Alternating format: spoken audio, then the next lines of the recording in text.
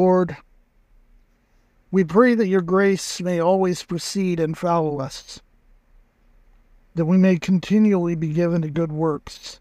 Dear Jesus Christ, our Lord, who lives and reigns with you in the Holy Spirit, one God, now and forever. Amen.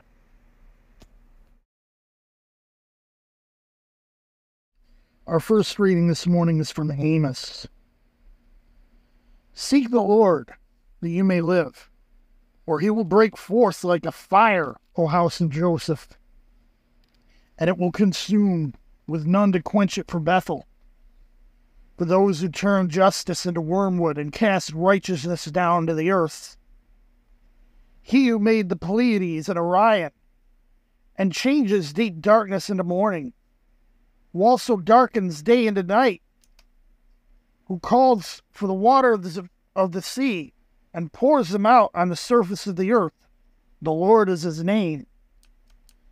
It is he who flashes forth with destruction upon the strong, so that destruction comes upon the fortress.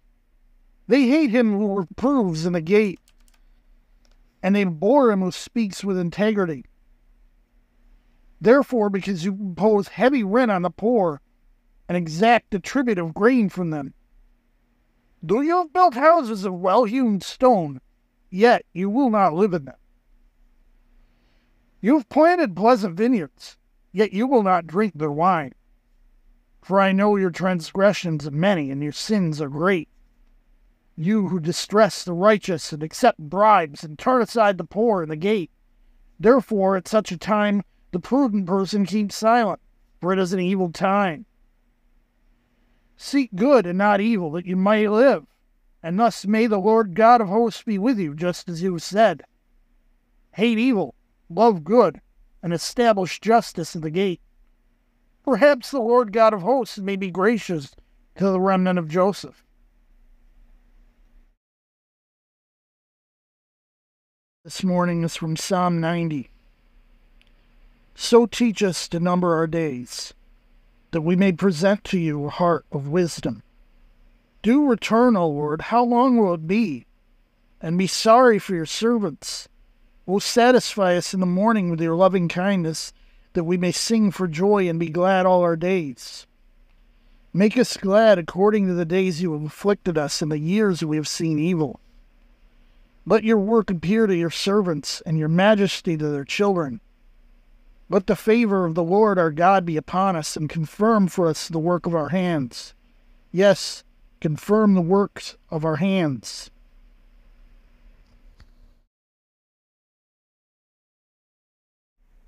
Our epistle this morning is from Hebrews. For the word of God is living and active, and sharper than any two edged sword, and piercing as far as the division of soul and spirit of both joints and marrow, and able to judge the thoughts and intentions of the heart. And there is no creature hidden from his sight, but all things are open and laid bare to the eyes of him with whom we have to do. Therefore, since we have a great high priest who has passed through the heavens, Jesus, the Son of God, let us hold fast our confession. For we do not have a high priest who cannot sympathize with our weaknesses but one who has been tempted in all things as we are, yet without sin.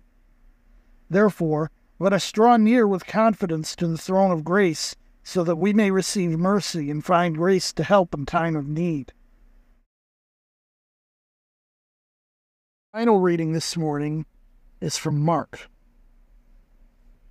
As he was setting out on a journey, a man ran up to him and knelt before him and asked him, Good teacher, what shall I do to inherit eternal life? And Jesus said to him, Why do you call me good? No one is good except God alone. You know the commandments do not murder, do not commit adultery, do not steal, do not bear false witness, do not defraud, honor your father and your mother. And he said to him, Teacher, I've kept all these things from my youth up. Looking at him, Jesus felt a love for him and said to him, One thing you lack.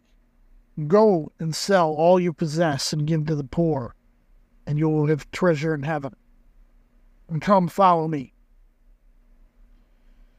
But at these words he was saddened, and went away grieving, for he was one who owned much property. And Jesus looked around, said to his disciples, How hard it will be for those who are wealthy to enter the kingdom of God. The disciples were amazed at his words, but Jesus answered again and said to them, Children, how hard it is to enter the kingdom of God.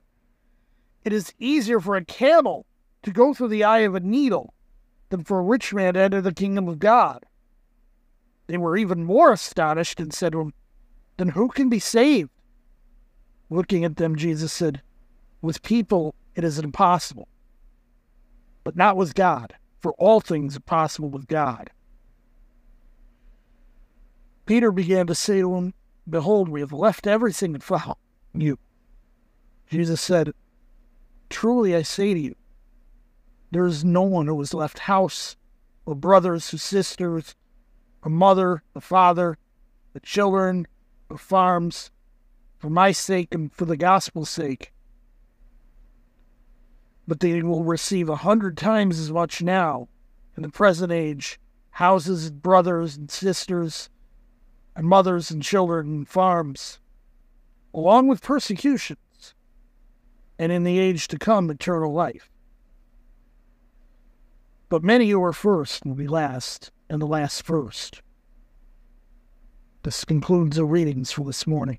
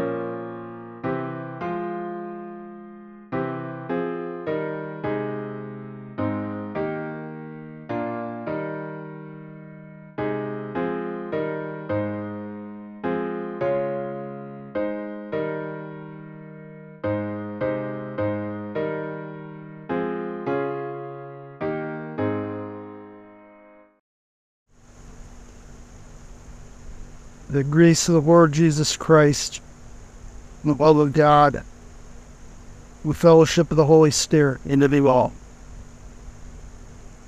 Amen. He was for Joe.